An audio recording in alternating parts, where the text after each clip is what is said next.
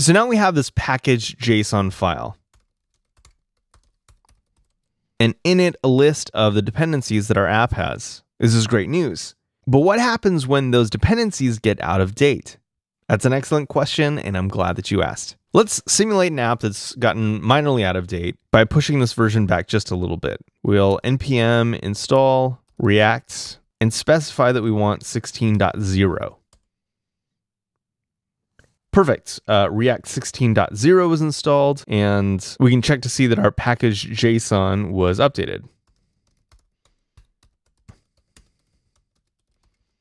It was. It's 16.0 now. Perfect. Uh, let's add another library just for kicks.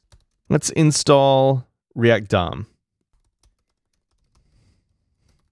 And we'll also specify version 16.0. We want both of these to be out of date Again, look at our package JSON. See that both of these are version 16. Perfect.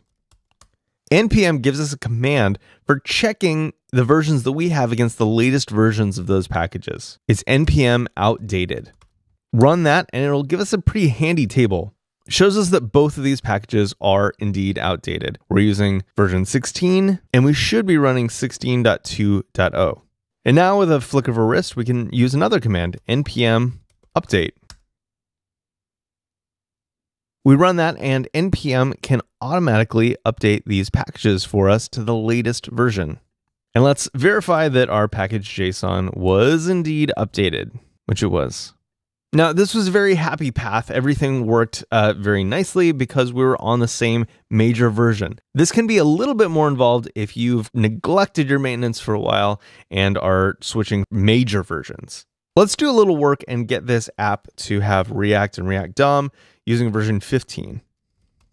We'll install the earliest versions of React and React DOM 15.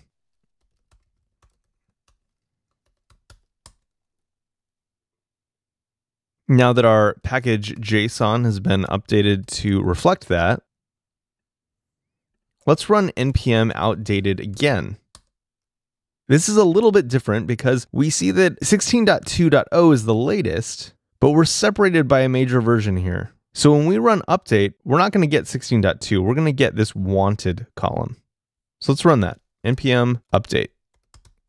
It spins and updates us to 15.6.2. Now that we're updated to the latest on our major, let's run npm outdated again. Instead of this red indicating that we have updates that we can run, we have this yellow. And here it's indicating that we're up to date on our major, but not up to date on the project as a whole. Now, why is this? Well, let's take another look at our package JSON.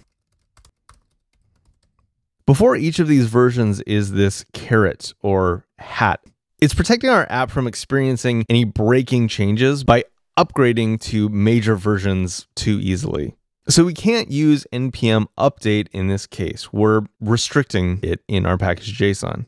To get past this hump, we're just going to have to npm install them again and specify the versions that we want. So npm install, I for short, react at latest, and react DOM at latest.